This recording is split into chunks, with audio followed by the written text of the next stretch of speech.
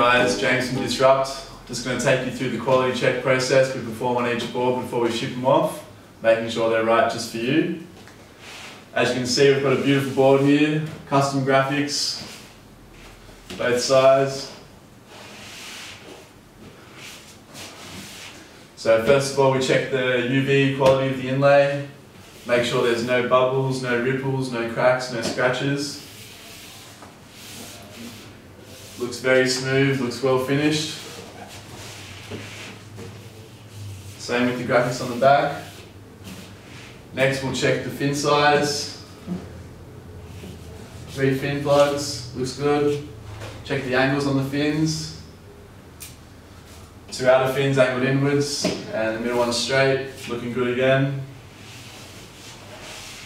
Um, next we'll have a look at the leash hole.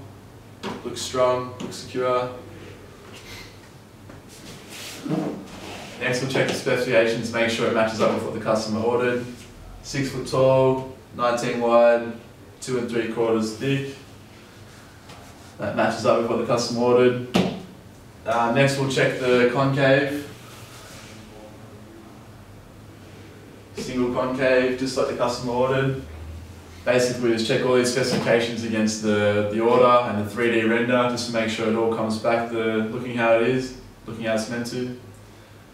Basically, we just do all these quality checks against the specifications in the 3D render just to make sure it's all what you ordered. This one's looking good, looks like it's ready to get shipped off. Enjoy surfing.